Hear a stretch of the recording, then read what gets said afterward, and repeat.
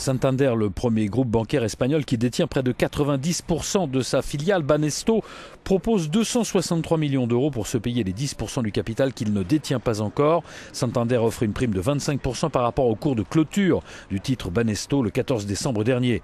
Banesto devrait donc disparaître de la cote si cette opération réussit, ce qui devrait probablement être le cas. Retrait de la cote, mais aussi disparition à terme de l'enseigne Banesto, dont 700 agences vont fermer pour réduire les coûts. Santander avait acquis Banesto en 1994 après que le Fonds espagnol de garantie des dépôts avait mis en vente la banque en faillite.